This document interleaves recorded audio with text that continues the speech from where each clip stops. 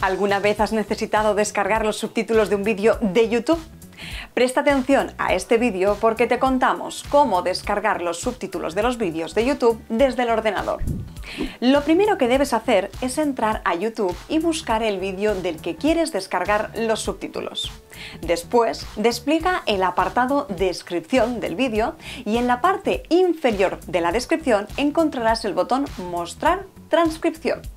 Una vez hagas clic en el botón, se te desplegará en el lateral derecho de la pantalla la transcripción del vídeo con el minutaje. Las transcripciones están separadas en capítulos para que te sea más fácil localizar las partes del vídeo. Si tienes que buscar una palabra o frase en particular, puedes escribirla en el buscador que está situado en la parte superior. Una vez escrita la palabra o frase, podrás acceder rápidamente al momento del vídeo en el que se dice. ¿Quieres activar o desactivar las marcas del tiempo para que aparezcan en el documento que te descargues?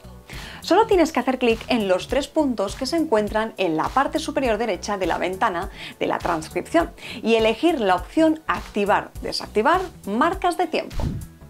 Ahora solo tienes que seguir estos pasos para poder tener la transcripción del vídeo en un documento.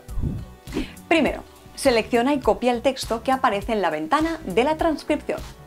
Segundo, pega esa información en un blog de notas o un editor de texto que tengas en tu ordenador.